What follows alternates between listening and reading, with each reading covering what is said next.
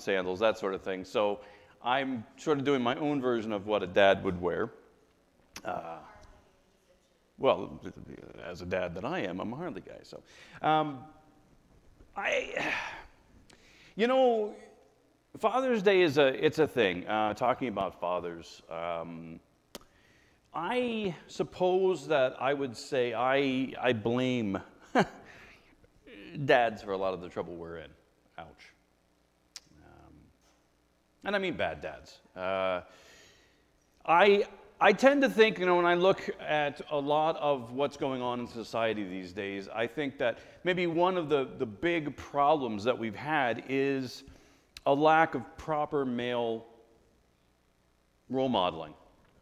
And, uh, you know, we see how there's so much pressure now, or not pressure, pressure isn't the right word, but I guess there is pressure on on men from the mainstream media and things like that to be less masculine and um, less authoritarian or, or that sort of thing because they, they, they see some of the, you know, the abuses that we've had.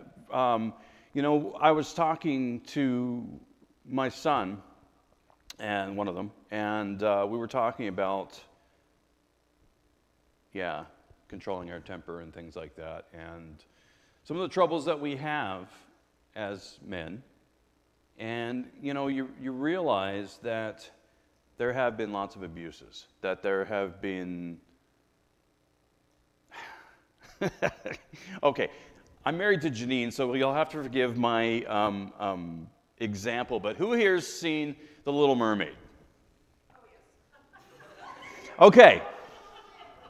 So, let, do, do you not remember King Triton's rant, um, temper tantrum, maybe, when he smashes all of, of Ariel's stuff, including her statue of Prince Eric. Is that right? Prince Eric? Yeah.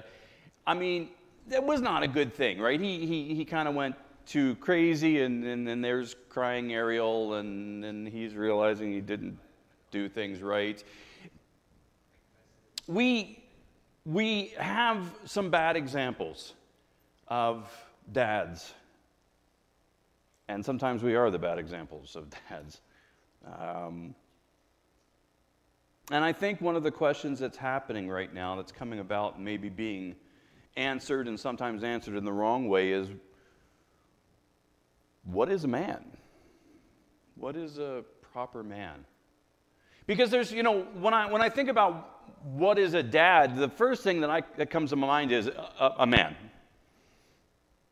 Maybe I'm already controversial, Dennis, as far as saying that a father is a man, but I'm going to stand by that. Um, and so, a good father probably has to be a good man. So, what, is, what makes a good man? Jenny and I have talked about lots of different things. We, we went um, on a Disney cruise one time, thankfully, because her, her parents paid for it, because, you know. and we really, we, we, we really enjoyed it. And one of the things I noticed, and I was, I was telling Janine while we were there, I said, you know, first of all, there's not that many males that work as characters or just any of the time working with the kids, and the ones that are what I'd call effeminate. And she stepped up and, you know, she said, well, I think that makes sense because, you know, that way they're not threatening to the kids and things like that. And I thought, huh. Is there a, is there a way that we can be masculine men, masculine fathers, but not at the same time scare our kids? Good question. I'm not sure I can answer it. I hope there is. We've had lots of conversations about how I do things as, as a dad. And, you know, it's always a, it's kind of a give and take between loving and nurturing and holding the line and saying,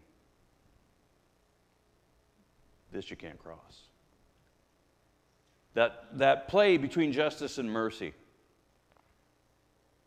So it really is sort of uh, cliche or obvious, but also true that it's a good idea to go to Scripture to find out what makes a good father. And there's lots of things that I could think about in Scripture about how God is as a father. Um, and I certainly cannot go into all of them. So I, I tried to choose just a, a couple that would give you an idea that we could talk about. So the first one is Hosea. It's going to take me a bit to find this one.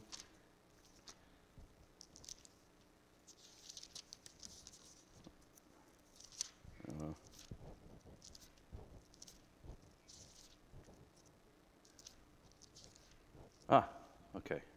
Like I'm sure it's in there.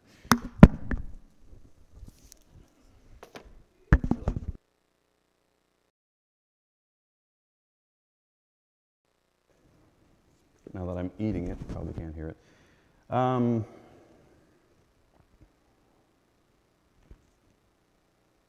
Hosea chapter 11. When Israel was a child, I loved him, and out of Egypt I called my son. But the more they were called, the more they went away from me. They sacrificed to the Baals and they burned incense to images. It was I who taught Ephraim to walk, taking them by the arms but they did not realize it was I who healed them.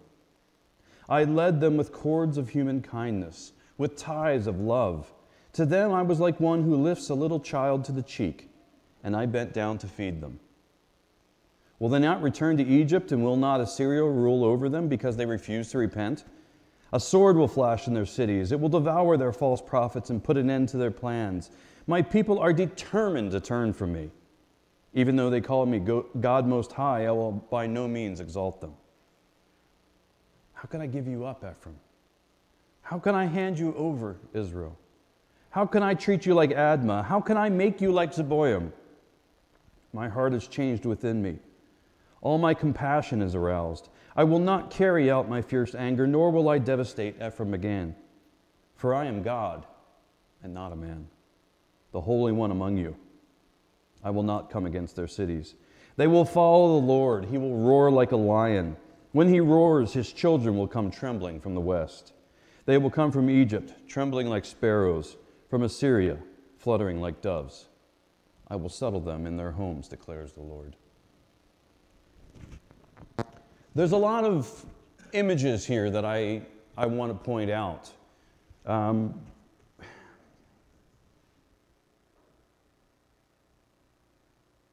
we often think of moms as the one that are doing the playing, the bending down, the feeding, and, and things like that. But yet, I remember Janine and I talking, and I, I remember being in a Zellers. Are there even Zellers anymore?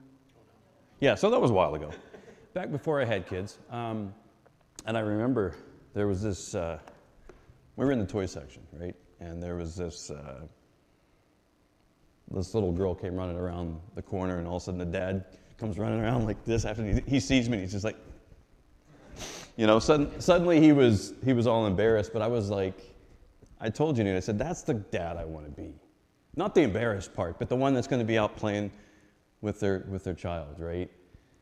And there's there's images like this of the dad, you know, it was I who taught Ephraim to walk, taking them by the arms. I led them with cords of human kindness, with ties of love. To them, I was like one who lifts a little child to the cheek. That sounds motherly, but it's father as well. And I bent down to feed them. There's, there's also this, this, this part where, you know, he says, Look, they're constantly fighting me. They're determined to turn away from me. That's that other part of the, the Father that, you know, the Father quite often is what we hear in maybe some of the old TV shows just wait till your father gets home. Because it was expected that that was going to be, well, now you're going to get a whipping. We can't do that anymore. But the father was considered to be the authoritarian. He was the one that doled out the punishment. And um, Obviously, there's exceptions, and there's uh, plenty of times where that's not the case, but that was generally thought to be the, the case. And here we see this where, where God the Father is saying, You guys are so rebellious. I'm going to have to punish you. But then he goes back and says, But how can I do that? You're my children. My compassion doesn't want to let me punish you because I love you. And so there's these two competing things that are in a father's heart. They recognize that I've got to lead my children in a particular way, and sometimes that means I'm going to have to do not so much leading with cords of human kindness and ties of love, but more with at least a verbal strap. And then there's the other side that says, You screwed up, and the first thing that comes to my mind is that I want to yell at you or I want to punish you, but at the same time, I recognize that you screwed up because you're young and you don't know, and you need the love more than you need the tongue lashing. Both of those things are in God. There are so many other things. I, I looked at, um, you know, where there, if you look back in, in, in uh, Samuel, in the book of Samuel, you'll see that uh,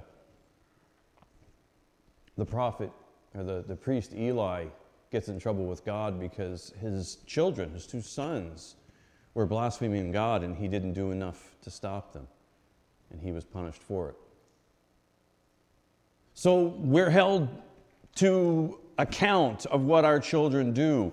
You see in the qualifications for deacons and elders that their children are believers because if they can't manage their household, how can they manage God's household? So there's this kind of sense of responsibility that says you need to lead your children, you need to lead your family in ways that are godly, and that there's that responsibility there.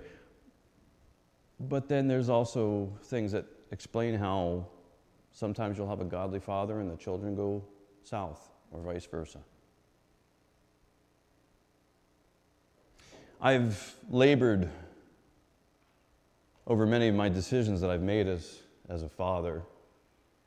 many I probably should have labored over more, but you know, and I thought about, well, how will this affect my kids? Even just like having the motorcycles, I, I recognize that they're dangerous. And I don't want my children to take that danger on. And I wonder do I try and dissuade them from it, or do I teach them the safe way of doing it? And then sometimes I realize that they're going to do what they're going to do. But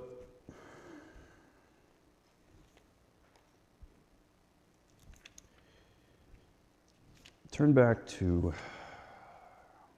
it 1 Samuel? 1 Samuel, yes.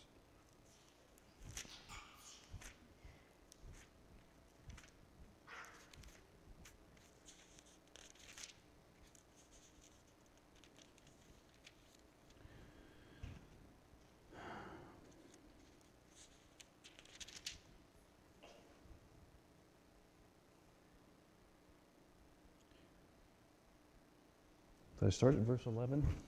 I I should look this up, I'm sorry. Yeah.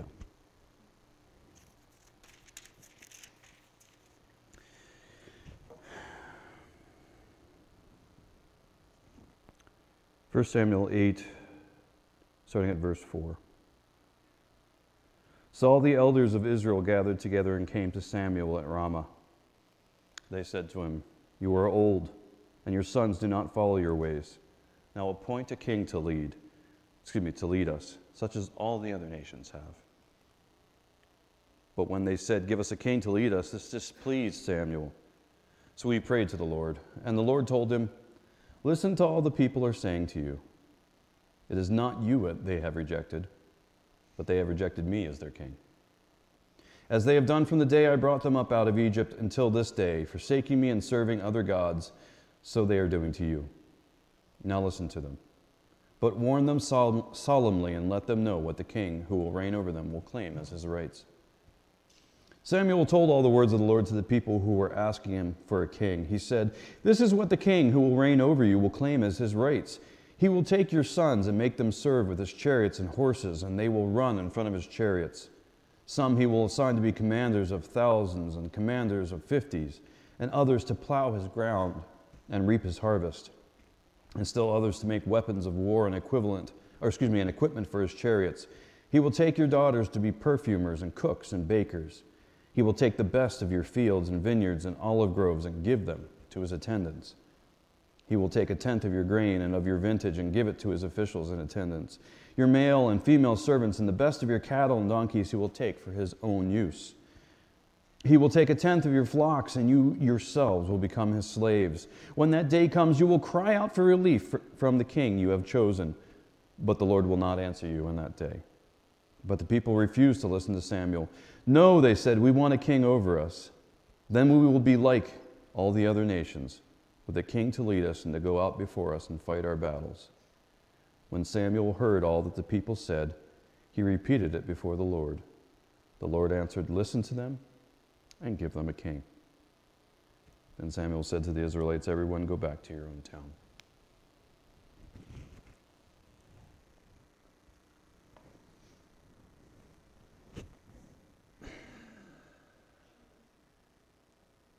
I think one of the hardest things that we can do as parents, whether fathers or mothers, is to see a mistake that our children are making and allow them to make it. Samuel knew what the people were asking for. God certainly knew what the people were asking for and how it was going to turn out. But he let them have it anyhow. There are times that we need to allow them to find their own, own way to make their own mistakes. Because the truth is, we make them too. So, one of the things that um, I haven't mentioned about looking at God as a father, as an example of a good father, is the fact that there's something He can't teach us, that He can't role model for us and that is how to handle mistakes. God doesn't make mistakes, we do. There's a verse um, that I, I like, sometimes don't like, depending on how it's applied to me. Um, Hebrews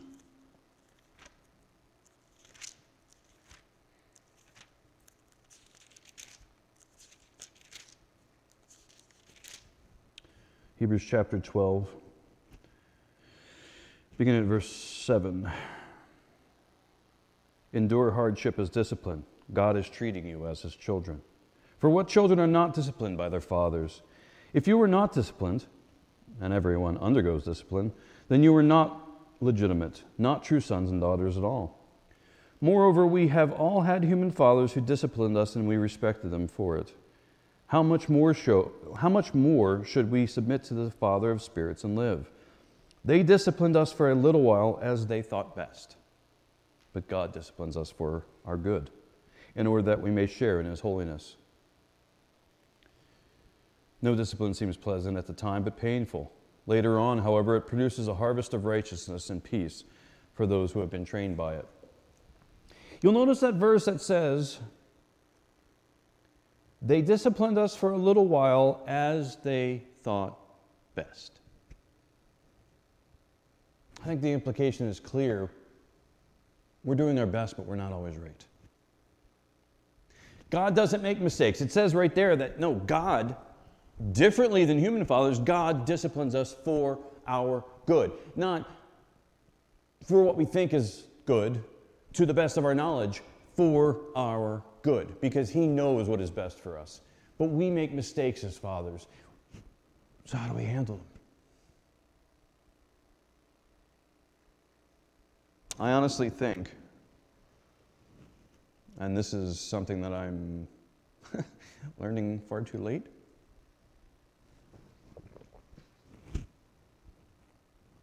I think how we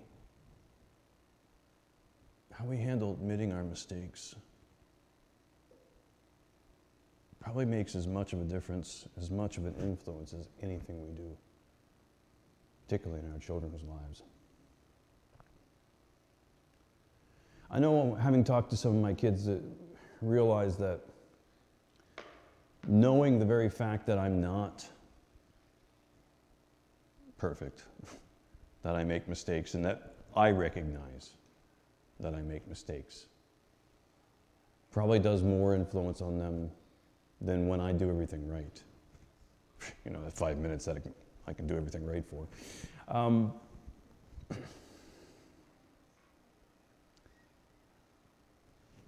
it's funny. I hope this makes as much sense when I say it out loud as it did in my head. Even though God can't role model for us how to be fathers through our mistakes,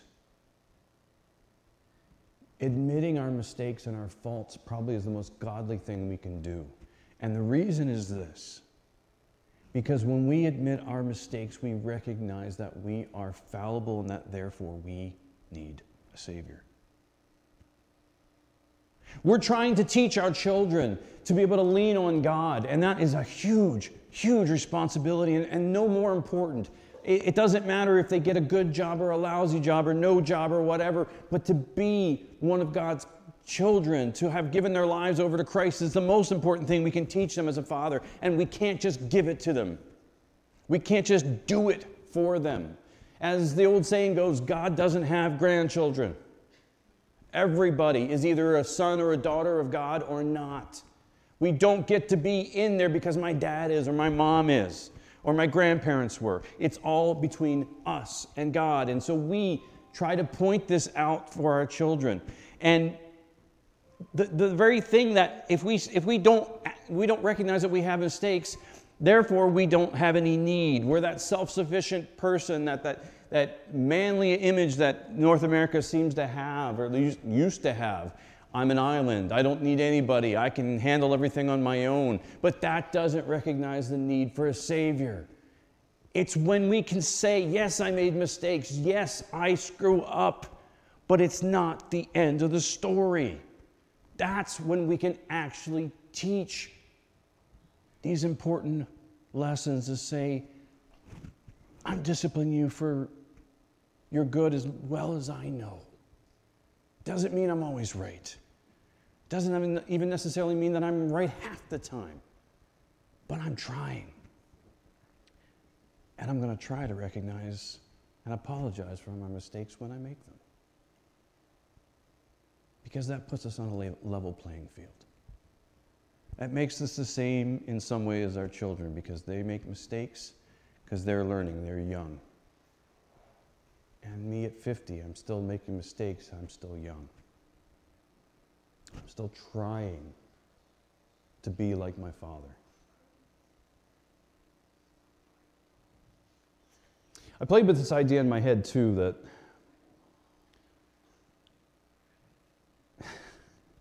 who here looks in the mirror these days and sees your dad? I know I do. You be quiet.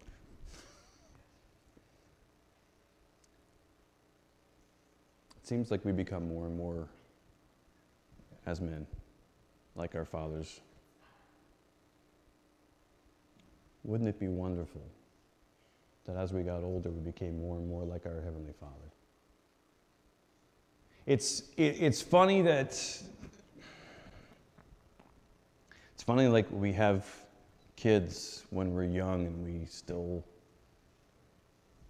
don't know much and don't know that we don't know it.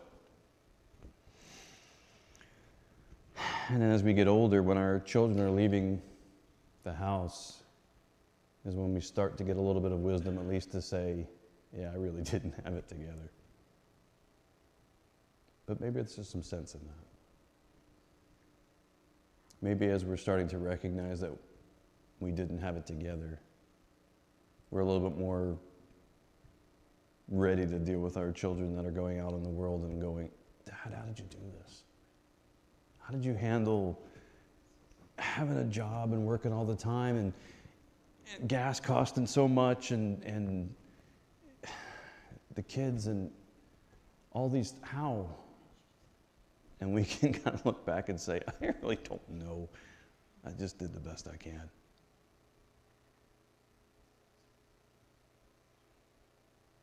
I really do think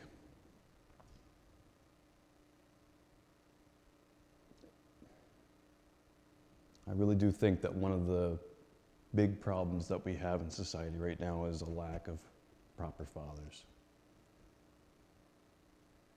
a lack of proper men.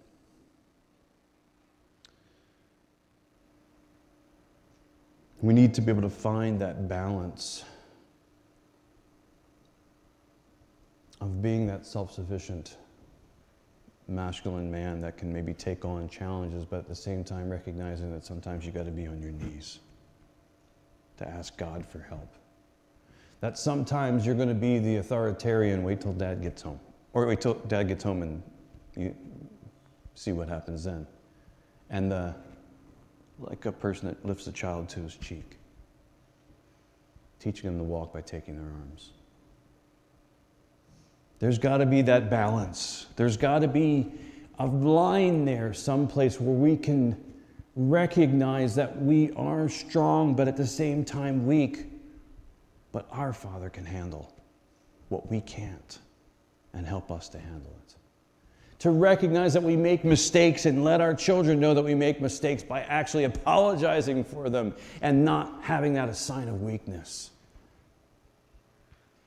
but a sign of recognizing that we aren't sufficient on our own, but that we need God. That lesson, that recognizing that as strong as you may be, that, I you've heard this. If you ever got into fighting, I, I didn't because I was always on the wrong end of things. But you always heard that, you know, it doesn't matter how strong you are, there's always somebody that's stronger or bigger we can think we're going to be self sufficient, but we're always going to have a need. Teach our children of that need and, and, point them to the one that can actually give us that help. To not be such so walled up that we don't need anybody, don't need anything, but to recognize it's not weakness, but it's brilliance to recognize that we need a Savior, need His help, need His love and His guidance. That's the kind of fathers we need to, to be. It's the kind of fathers that I think society needs. And we're going to be, well, we already are under attack. We're going to need people you and me, to be able to spread the message, to recognize, to let people know that it's not a sign of weakness. To recognize that we need a Savior, that we are not self sufficient. To also recognize that we can't just let anything go, that we have responsibilities to our families, that we can't just let our children go their own way without saying something, without trying to help. It's a tall order. And we need to do it through prayer because, like I said, we're not self sufficient. We're We're here to recognize our need for God and to help others to recognize that as well.